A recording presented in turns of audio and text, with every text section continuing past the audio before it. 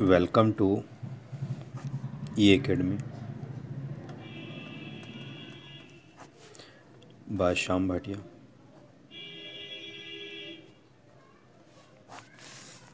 आज हम चर्चा करेंगे जेई 2018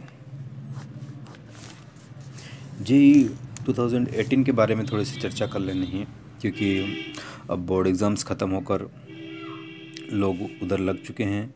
जो भी एक्सपीरियंस है, उनको कुछ बातें समझनी है। आपके शैक्षणिक और विषय अंतर्गत चीज़ें जो आती है, उनको तो पढ़ना ही है। बट उनके अलावा भी बहुत सारी चीज़ें होती हैं जो आपके सिलेक्शन में अनिवार्य रूप से उनका शेयर रहता है। तो जेई मेन जो है, इसका स्ट्रक्चर तो आप लोगों को पता ही है। फिर भी बात कर लेते हैं कि इसका स्ट्रक्चर पीसीएम होता है इसमें। प्रत्येक के तीस क्वेश्चन होते हैं और तीन सब्जेक्ट हुआ और प्रत्येक चार मार्क्स का हुआ। तो तीन सौ साठ मार्क्स मैक्सिमम होते हैं इसमें। और अगर सही क्लिक हुआ तो प्लस चार मिल जाएँगे। अगर माइनस क्रॉस हुआ या रॉन्ग बबलिंग हुई या आपके आंसर सही नहीं है तो माइनस वन हो जाएगा। यानी twenty percent twenty five percent negative marking है।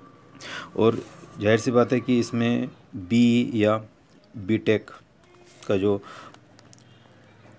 फोर ईयर का एक प्रोग्राम्स होता है, उसके अंदर आपको इंडिया लेवल या जो भी कॉलेजेस है, उनमें एडमिशन्स लेना, हर एक के टर्म्स एंड कंडीशंस अलग अलग उसके अकॉर्डिंगली आपको ज्वाइन करना है, इसका काउंसलिंग के अकॉर्डिंगली बट ये सब कुछ निर्भर करेगा आपके रैंक पर। और रैंक कहाँ से आएगी? आपकी प्रैक्टिस और ये सारी चीज़ें मैटर करती है तो ये चीज़ें थोड़ी सी थी। बट इसके पहले अपन एक बात कर लेते हैं कि रैंक्स कैसे आनी है? वो सब निर्भर करती है स्पीड पे और एक्यूरेसी पे। यही मिल के आपको सक्सेस करेगी। सक्सेस बट स्पीड और एक्यूरेसी को कैसे लाना है? स्पीड का मतलब हुआ ओ सॉरी एक्यूरेसी का मतलब क्या हुआ? अंडरस्टैंडिंग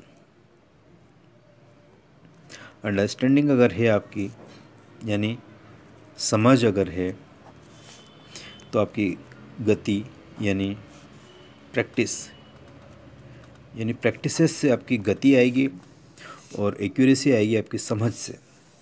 तभी जाकर कोई सफलता या यूँ कहे कि एक्यूरेसी को लाने के लिए आपको समझ यानी थ्योरी की प्रिंसिपल्स रूल्स कंसेप्ट ये सारी चीज़ आपको पकड़ना है। ये पूरा कंसेप्चुअल होता है और ये पूरा फैक्चुअल होता है। जब इन दोनों को समअप करोगे तो और जब फैक्ट्स की प्रैक्टिस बार बार करोगे रिपीटिशन यानी जब हर एक फैक्ट्स है, उन चीज़ों को जब जब बार बार अप्लाई करोगे तो आपको गति ऑटोमेटिक आती जाएगी। और जब समय समय अंतराल में, यानी फिक्स एक जो टाइम स्लैब है, उसके अंतर्गत आपकी समझ होनी चाहिए और वो समझ गति के साथ आपको उस क्वेश्चन के साथ डील करना है और अपने मिनिमम टाइम में और मिनिमम कैलकुलेशन में अपने आंसर तक पहुँचना है। तो यही आपकी स्पीड और एक्यूरेसी जब ये सब कुछ जुड़ जाती है तो आपकी सफलता कहलाती है। और ये तो एक फैक्ट हुआ इससे रिलेटेड और भी बहुत सारी चीज़ें हैं कि इसको ये कैसे इंक्रीज़ होती है, इसमें क्या क्या अप्रोचेस लगती है प्रैक्टिस कैसे करनी चाहिए फैक्ट्स क्या होते हैं फैक्ट्स को कैसे एक्सट्रैक्ट करना है, निकालना है और समझ कैसे आती है एक्यूरेसी कैसे, ये सारी चीज़ आगे के वीडियोज़ में हम चर्चा करते रहेंगे, लेकिन अभी इतना ही। तो अगर मैं बात करूँ कि इसमें पच्चीस से तीस क्वेश्चन आपको ऐसे मिल जाएँगे आउट ऑफ़ नाइन्टी से।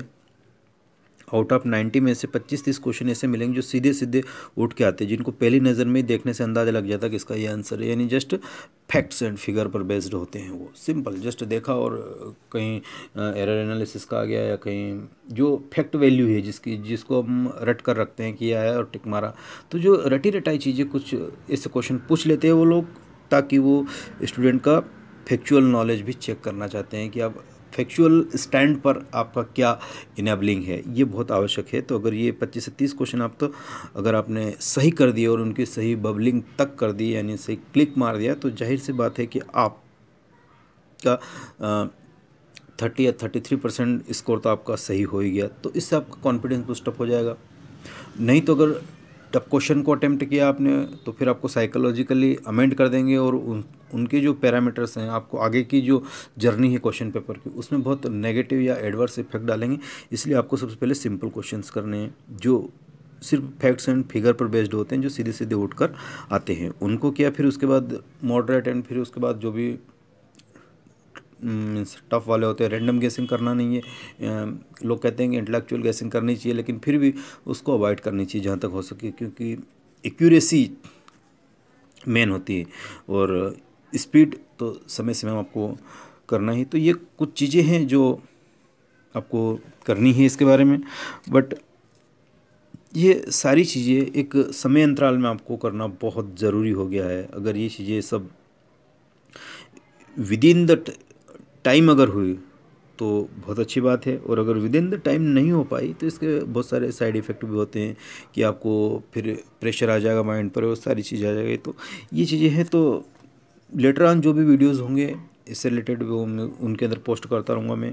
और आप इस चैनल को सब्सक्राइब कर दीजिए ताकि आगे आगे के लिए जो भी वीडियोज़ आए या जो भी वीडियो सीरीज़ आए या इससे रिलेटेड जो भी नॉलेज शेयरिंग कोई आए, चीज़ें तो आप तक आसानी से पहुँच सके। तो उसके लिए अगर आप इसको सब्सक्राइब करते हैं तो हम आगे भी इससे जुड़े रहेंगे इस मुद्दे पर। तो सफलता इसमें क्या करती है? तो अब देखते हैं कि आज अपन बात करते हैं फिजिक्स की।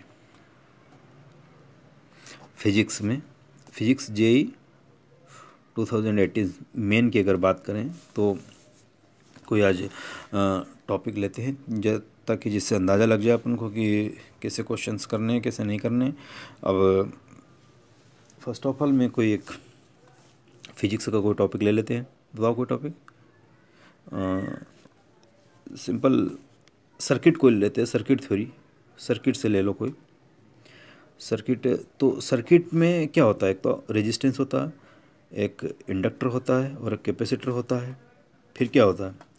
डायोड भी आ जाता है, कभी ट्रांजिस्टर आ जाता है, कभी कुछ कभी कुछ, और भी एलिमेंट्स ऐड करते जाते हैं तो होती है बट मुख्य रूप से आर से सर्किट की डील करते हैं। तो इसको हम कोई सा भी सर्किट हुआ, इन्हें within a few second, आप बहुत सारे पैरामीटर को कैलकुलेट कर सकते हो, इन ए फ्यू सेकंड। ये एक ब्रह्मास्त्र की बात है, ये बहुत ही अच्छी चीज़ है, वो है नोडल एनालिसिस। नोडल एनालिसिस यानी नोडल विश्लेषण। इस नोडल विश्लेषण से हम बहुत सारी चीज़ें निकाल लेंगे। और वो चीज़ें उतनी ही सटीक होगी और बिल्कुल ही स्पीडली हो जाएगी। तो एक सर्किट लेते हैं। ये एक मैंने कैपेसिटर लिया। इसको एक और कैपेसिटर से सीरीज़ में ज्वाइन कर दिया और एक और कैपेसिटर मैंने ऐसे ज्वाइन कर दिया और इनको एक बैटरी से जोड़ देता हूँ। ये बैटरी ये जोड़ दी। मान लो इसका टेन वोल्ट हो गया। ये कितना रखें? पाँच माइक्रोफेरेट रखो इसको। आठ, दस रख लो, चलो। दस माइक्रोफेरड, इसको भी रख लेते हैं, दस माइक्रोफेरड। ये हो गया। ये मैंने कर दिया। अब इसको, इस सर्किट को कैसे सॉल्व करना है? हाँ अगर इक्विलेंट निकालना हो तो सीरीज़ पैरेलल से हो जाएगा, ये ज़ाहिर सी बात है। लेकिन चार्ज निकालना है तो फिर वो ब्रांचेस में कितना चार्ज है, कितना पोटेंशियल डिफरेंस और दुनियादारी उससे भी होती है। लेकिन लेकिन नोडल एनालिसिस से कैसे होता है? तो इसमें इस की थ्योरीज भी होती है स्टेप बाय स्टेप भी आता है बट यहाँ मैं मान के चल रहा हूँ कि आपने पूर्व में बहुत सारी चीज़ें सर्किट से रिलेटेड या कैपेसिटर से रिलेटेड या कैपेसिटर इक्वेशन इन चीज़ों के बारे में पढ़ रखा है, ताकि क्योंकि अभी ना तो वक्त है और ना ही आप लोगों में इतना पेशेंस है कि आज अपन इसको ज़ीरो से शुरू करें और अभी तक सारी चीज़ों को एक एक चीज़ एक्सप्लेन करो और फिर अपन इस मॉडरेट लेवल पे आए। बट ये मान के मैं चल रहा हूँ कि आपको ऑलरेडी इसका नॉलेज है, बस हमें सिर्फ़ क्वेश्चन डील करना है। इसकी थ्योरीज और थ्योरी से रिलेटेड या इस क्वेश्चन को सॉल्व करने के बहुत सारे ट्रायल्स आपने पहले कर रखे तो अपन मान के चल रहे हैं कि सिर्फ़ क्वेश्चन तो एक ऐसा क्वेश्चन आता है तो इसकी बात करते हैं अपन। तो ये तो एक रेफरेंस नोड होता है, जिसको ज़ीरो वोल्ट मान लेता हूँ मैं। और इधर पॉजिटिव टर्मिनल ये टेन वोल्ट हो गया। और ये जो है, इस बिंदु को मैं ए मान लेता हूँ, जिसको एक्स वोल्ट मान लिया मैंने। इसको इसको पॉजिटिव कंसिडर करेंगे। और जहाँ जहाँ इसको ये यहाँ आके ख़त्म हो गया ये प्लेट अलग हो गई इससे, फिर ये प्लेट भी अलग हो गई और ये प्लेट भी अलग हो गई। यानी ये कि ये आइसोलेटेड सर्किट हुआ।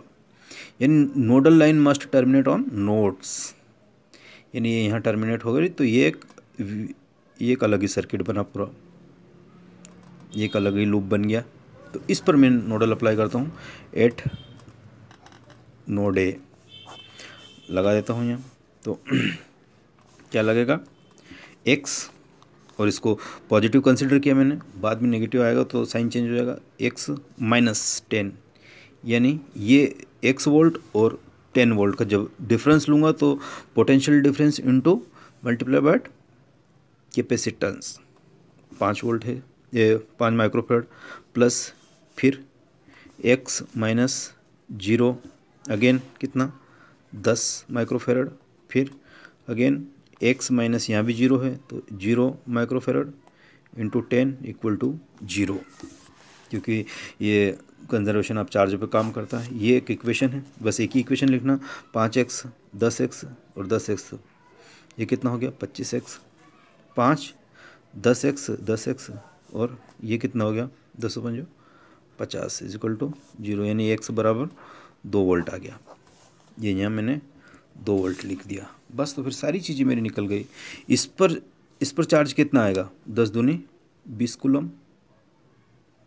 इस पर कितना आएगा?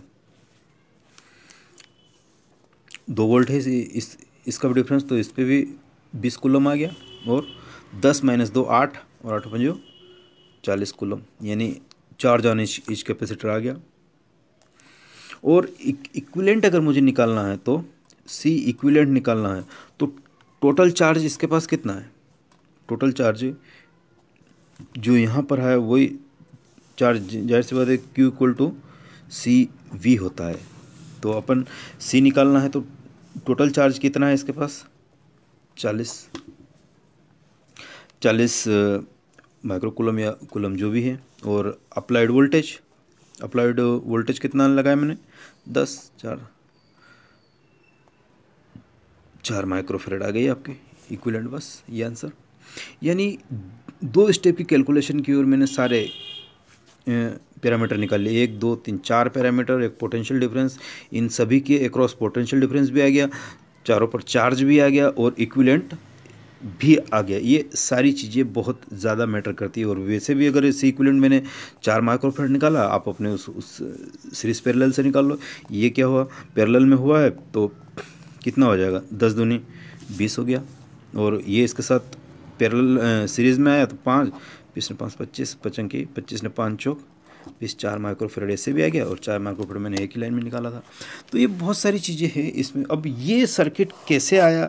क्या इसमें मैकेनिज़्म फॉलो हुआ? ये सारी चीज़ें मैं आगे के वीडियो सीरीज़ में डिस्कस करूँगा। लेकिन अभी आपको एक ब्रीफ दिया मैंने कि ऐसे भी हम आसानी से निकाल सकते हैं। इस चीज़ें में, इसमें सारी चीज़ें, सारे पैरामीटर सारे अननोन्स सम एक ही लाइन में निकाल देते हैं।